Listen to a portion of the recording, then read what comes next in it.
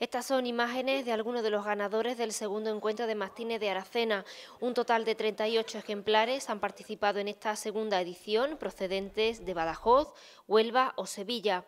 Y deciros que el segundo encuentro mastinero de Aracena se ha dado muy bien, con un saldo de 56 inscripciones y 36 perros asistentes.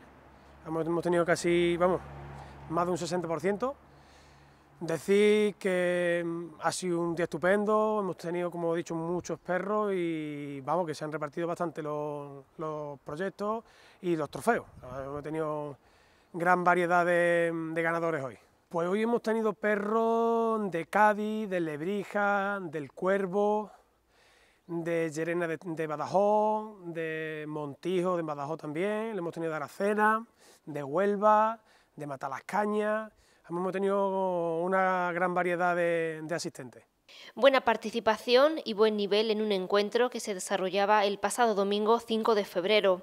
Pues por categoría hemos empezado con Muy Cachorro, ¿vale? que ha ganado una perra de San Silvestre de Guzmán, de un criado llamado Eladio, ha traído una cochera de, de cachorras muy buena y, ha ganado Kira.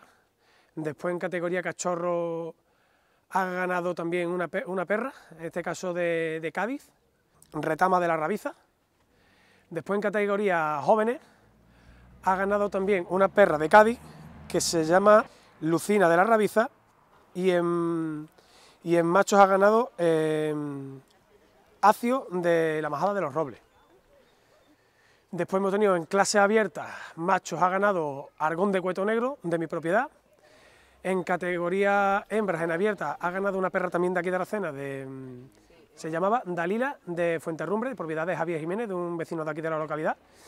Después la mejor pareja se la ha llevado un chico de, mm, de mm, Llerena de, Badajoz, se ha llevado la mejor pareja, una pareja de perros procedentes del norte, de muy, buen calibre.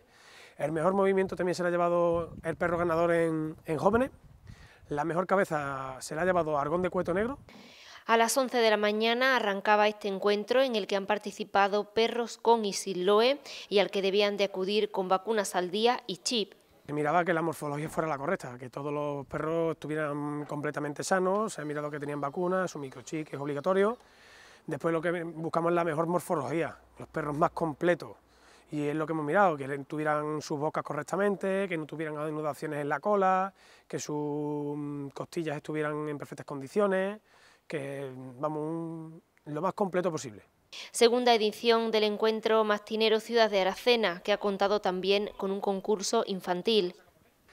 Y después hemos tenido el concurso infantil, que ha sido lo, lo más divertido, que hemos tenido 14 niños que se lo han pasado bomba, con un resultado todos han ganado porque ahí no gana ni pierde nadie.